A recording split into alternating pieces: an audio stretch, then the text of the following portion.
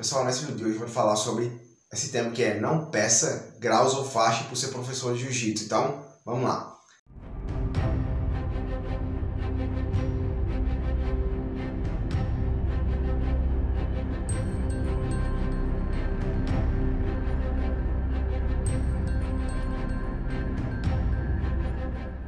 Por incrível que pareça, tem muitas pessoas que, tipo, perdem a professor, faixa, dizem, ah, professor, já estou num nível bom, eu tô merecendo azul não, então, ó, professor, já tô treinando bem aqui, eu mereço um grau, não sei o quê. O pessoal tem até um, um mito, né? Um, um costume que o pessoal fala que quando o cara fala isso, ele recebe mais um ano em cima da faixa, ou então um ano para receber a faixa, ou um ano para receber o grau. Pessoal, uma dica que eu dou pra vocês, ó, eu sou faixa marrom, treino de há mais de 10 anos. Assim, lógico, eu entendo essa tua pressa por querer graduação, é sempre bom de ganhar um grau, te motiva muito. Pegar uma faixa, mas, pessoal, tenta buscar. Isso é consequência. Eu sempre falo, é, desde a minha faixa branca, isso é consequência. Quando você faz um trabalho bom, se esforça, é um atleta, é um, um atleta, um atleta, um entusiasta, mas está sempre ali presente na academia, ajudando, tem frequência de treino, entendeu? É um cara que tem uma boa índole fora do tatame dentro. Então, você vai receber a faixa. Porque assim, cada pessoa tem seu tempo. Entendeu? Tipo, não, eu não posso dizer, ah, fulano vai receber a faixa azul em dois anos. Ele pode receber em dois anos, mas se ele não for um cara tão dedicado, ele pode ficar 4 ou 5 anos na faixa azul. Entendeu? Eu até fiz um vídeo falando sobre o tempo mínimo, tá aqui nesse card. O tempo mínimo de cada faixa, né? Então é basicamente isso, pessoal. Foca em aprender. Tenta buscar. Se você tá na sua faixa branca, pô, é a melhor faixa para aprender. Tenta buscar faixa azul, faixa roxa, faixa marrom. Na faixa marrom, especialmente, eu acho que deve ter um pouquinho mais de, de, de ansiedade, porque você tá um passo, tá tão sonhado a faixa preta, mas não se perde no caminho, pessoal. Tenta focar, tenta ajudar a academia no que puder. É, se você gosta de competir, vai competir. Então, se não gosta de competir, tenta sempre aprender alguma coisa nova. Porque sempre a gente está aprendendo, pessoal. Desde o professor ao iniciante começou hoje. Você, eu, eu mesmo pô, aprendo muita coisa que eu, que eu não sabia no jiu-jitsu. Todo dia de treino eu aprendo uma coisa. Às vezes com um iniciante que entrou hoje, mas ele faz um negócio de um jeito que eu digo, ó, oh, esse jeito é melhor. Então esse detalhe é que ele faz melhor do que eu. Você tem que ter essa mente de faixa branca de querer sempre aprender. Porque você está tá sempre aprendendo, pessoal. Imagina se o cara aprende tudo e aí, cada graça, não vai aprender mais nada. O bom é sempre ir aprendendo as coisas porque você vai vai evoluindo. A, a questão é evoluir, entendeu? O que eu digo muitas pessoas, até questão de treino. Muitas pessoas, ah, não posso perder no treino, não vou final, não vou bater no treino, não posso perder um, um no treino, uma luta.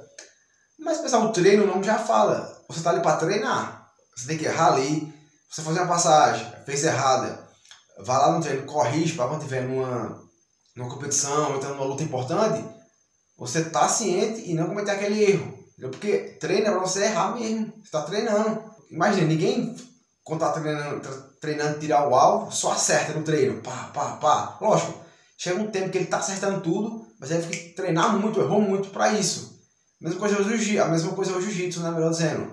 O cara, hoje vocês veem o cara fazendo um armlock perfeito, mas, pô, ele também teve a mesma dúvida que você. Às vezes girar o quadril pro lado errado, não travar a mão, não fazer o quadril na perna. Então, é basicamente isso, pessoal. Não foca tanto em querer graduação, beleza. Aquele lance, se você continuar treinando, se esforçando, tendo constância, ajudando na academia, sendo um cara bom, dentro e fora do tatame, a faixa chega. É inevitável, entendeu? Mas você, ó, só não chega você parar de treinar se você morrer. Mas Nesses dias, porém, se você continuar, não acontecer isso, você vai chegar na faixa preta. Porque, pessoal, não é uma corrida, pô, é uma caminhada. Cada um tem sua caminhada, entendeu? Alguns chegam mais rápido, outros vai demorar um pouquinho mais, mas sempre chegam, se não desistir. Então, não foca tanto em, ah, quero meu grau, quero minha faixa, não sei o quê. Já vi muitos caras ficar com raiva por não receber a faixa, entendeu? Porque tiver todo mundo sendo graduado e às vezes não recebe a faixa. E muitas vezes até se desanima a treinar, mas não desanima, pô. Volta, tenta, tenta evoluir, continuar treinando, que chega a sua hora. Uma hora vai chegar, é inevitável, entendeu? Você não pode ficar, ficar com essa, essa, essa, essa cisma de querer, pô, grau, faixa. Acaba pegar azul já tá querendo um grau, não sei o que. Tem que ter calma, pessoal. Porque seu professor sabe seu desempenho, ele tá vendo. Às vezes você não vê. Uma coisa que eu acho muito legal é que, tipo, chegar aquele, aquele ponto de. Não é você que pede a faixa, é o a faixa que pede você. O pessoal já tá dizendo, pô, esse cara tá doido, já merece azul, velho. Não, não, não, fica mais no branca, não. Aí, mano, você realmente vê que você tá evoluindo, porque as pessoas de fora estão lhe vendo, entendeu? Não é você falando que você tá bom. E realmente isso aí muitas vezes é o que, o que importa não, porque você também tem que se achar bom.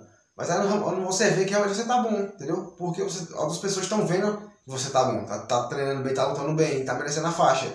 Então é basicamente isso, pessoal. Não fica grilado com isso. Treina, faz o certo que inevitavelmente a faixa chega pra você, tá bom? Eu espero ter gostado do vídeo. Para não perder vídeo como esse, se inscreve no canal aí. Muito importante, fortalece muito o canal. Também deixa o like, ó. Muito importante deixar o like, certo? Motiva muito. Também todos os patrocinadores que ajudam no canal, tá aqui na descrição, vai lá dar uma moral. Eles sempre me ajudam no dia a dia de treino, nas competições. Tá bom? E também todas as redes sociais tá aqui, ó. Na descrição, Instagram, Facebook. Toca o conta lá no Kawaii também, postando alguns vídeos lá curtos. Dá uma olhada lá. Então é isso aí, galera. Tamo junto. Os...